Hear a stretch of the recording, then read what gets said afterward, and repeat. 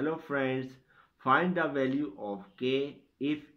square root of k and square root of k and square root of k equal to 128. Let's have a solution. To solve this, you should know that as square root of k equal to k to the power 1 over 2 square root of square root of k equal to k to the power 1 over 2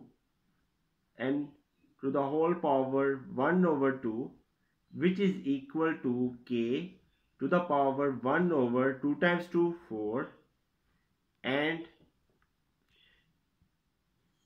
square root and square root and square root of k equal to k to the power 1 over 2 to the power 1 over 2 to the whole power 1 over 2 which is equal to k to the power 1 over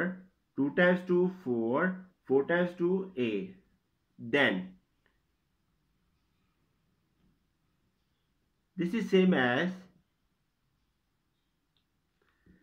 square root of k times square root and square root of k times square root and square root and square root of k equal to 128 which is same as k to the power 1 over 2 times k to the power 1 over 4 times k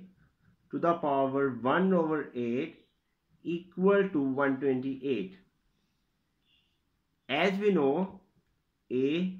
to the power m times a to the power n equal to a to the power m plus n we have k to the power 1 over 2 plus 1 over 4 plus 1 over 8 equal to 128. Take LCM. We have k. 2 times 4 8 4 times 1 4 plus. 4 times 2 8 2 times 1 2 plus 8 times 1 8 1 times 1 1 equal to 128 k. To the power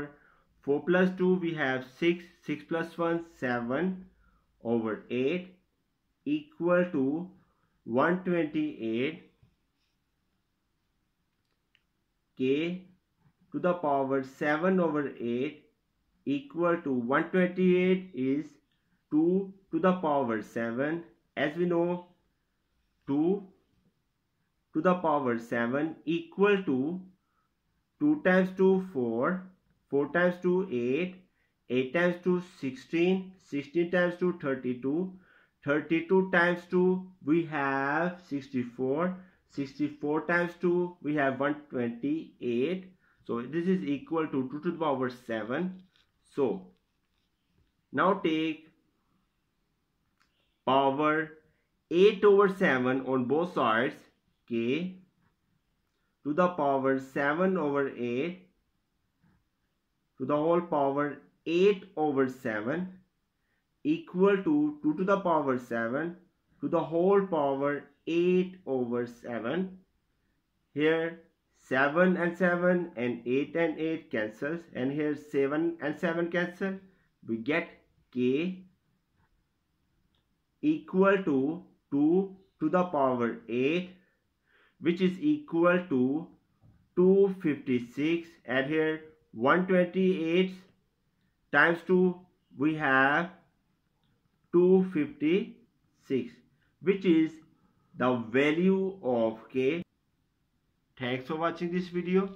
Please subscribe this channel to get the notification of my new videos and don't forget to share these videos with your classmates and friends so that they also have a benefit of it. Okay bye